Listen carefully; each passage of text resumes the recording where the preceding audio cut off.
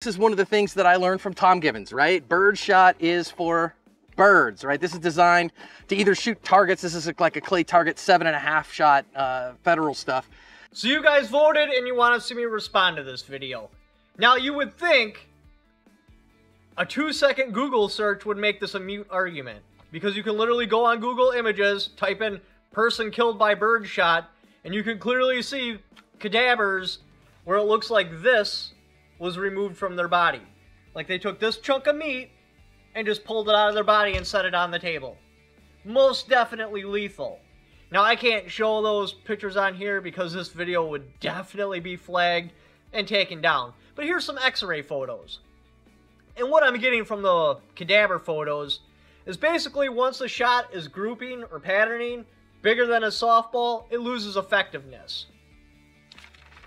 So what you want to do is go to the range, try to get your pattern this tight, and it will most definitely be lethal. If it's getting outside the C's, it's going to be questionable. Well, what I have is obviously a catalog, some paper. That should be roughly as difficult to penetrate as a human skull. And of course, two gallons of water. So let's uh, just a lightweight target load.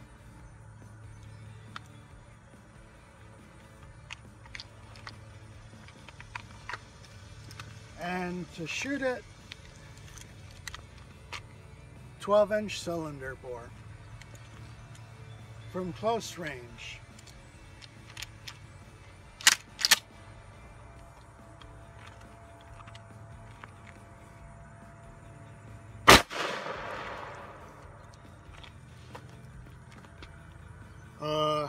Complete penetration and soaking.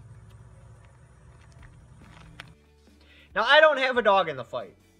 Because of my property, how my house is set up, I could literally mount an M2 in my hallway and use it for home defense.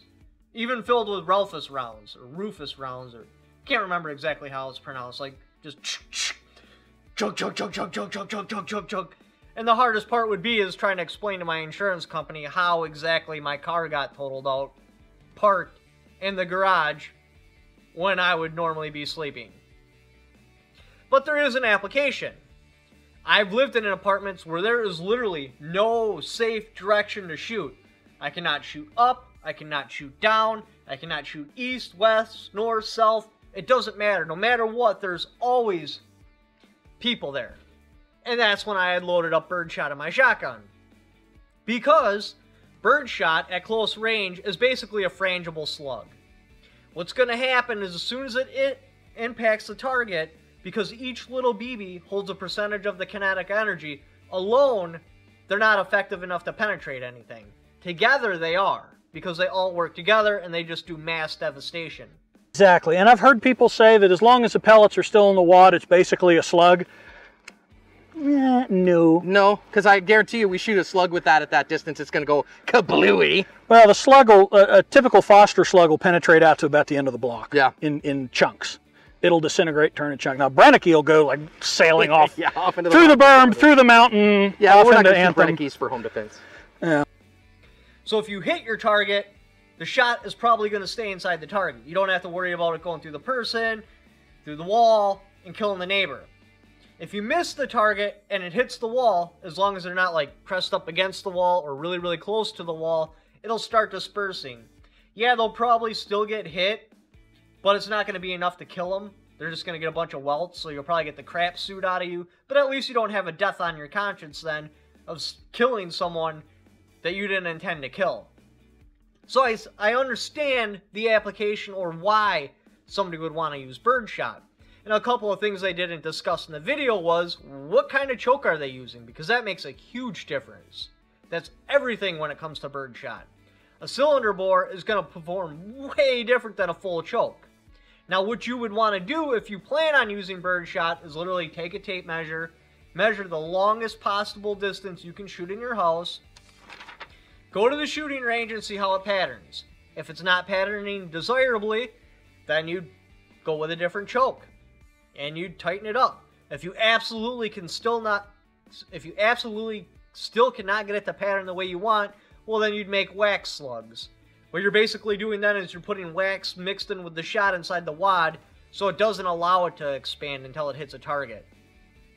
Now they're trying to use this ballistic gel. This was actually a two-part video series. They didn't actually label it as a two-part video series. The first one was attacking Paul Harrell's meat target, trying to discredit it, trying to say that nothing that he does has any sort of tangible evidence or any sort of reality behind it. Hey everybody, today on Active Self Protection Extra, I want to talk to you about ballistics gel and why I believe that shooting at groceries is a bad idea. Now they didn't actually label the second video as a second video, but that was the point of the first video because they knew they were going to make the second video and then everybody would reference Paul Harrell. But because they discredited his meat target in the first video, nobody referenced it in the second video because they already have a video discrediting it and why his meat target is not credible. But it just doesn't do what we want it to do, and we're going to show that to you today. So, well, unfortunately, bad guys are not made out of ballistic jelly.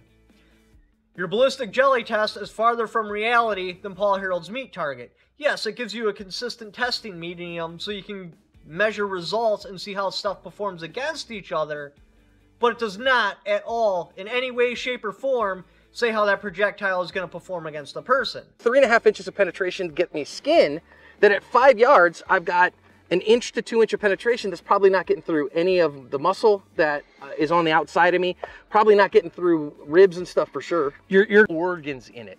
And so it's not a real human.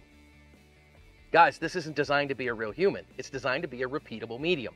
It's designed to be uh, something that we can test to say, okay, wait a minute, uh, uh, round A, I get so much penetration, so much expansion, so many wound channels, and this is what that looks like. Round B, I get a different thing, and I have a very repeatable medium. You can get rough ideas. A great example would be right inside your video, you said about three, what was it? I wrote it down. Three and a half inches into this gel is just like breaking the skin.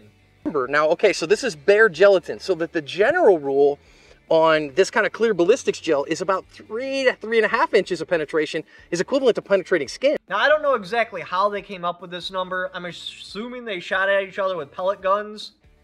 And then as soon as somebody broke the skin, they're like, okay, so 10 pumps on my pellet gun shooting this size BB will break the skin. So now let's shoot it into the ballistic gel and measure how far it is, and that would be equivalent to breaking the skin. My spec is, if you read it, is that when they fire, the calibration of ballistics gelatin fire a 177 steel BB at 590 feet per second into the gelatin with a total penetration between 2.95 and 3.74 inches. And this particular gel that, that we are shooting was 3.25 inches. Okay, cool.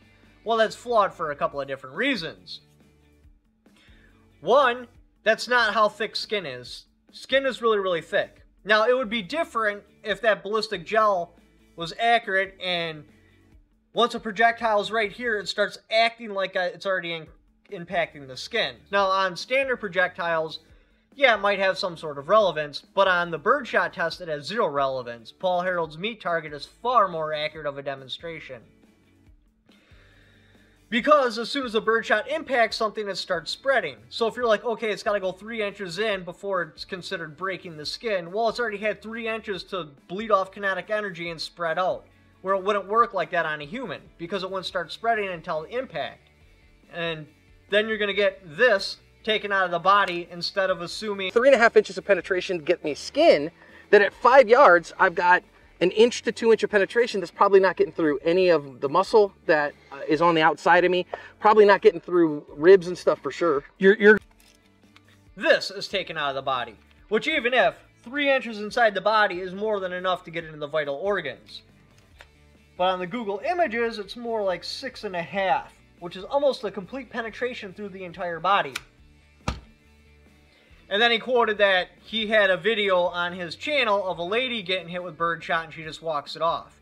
I haven't seen that video yet, but the factors that are going to matter is what size shot shell, because all birdshot is not the same. It goes from stuff like the size of a grain of sand pretty close to a small marble, depending on if you're using number, I think it goes as far as 9. I'll roll in the actual sizes right here number nine, which that might not be the end, but that's what I remember off top of my head, so that's what we're going to go with. Number 9 all the way up to BBB, triple B, which is quite a quite uh, large projectile.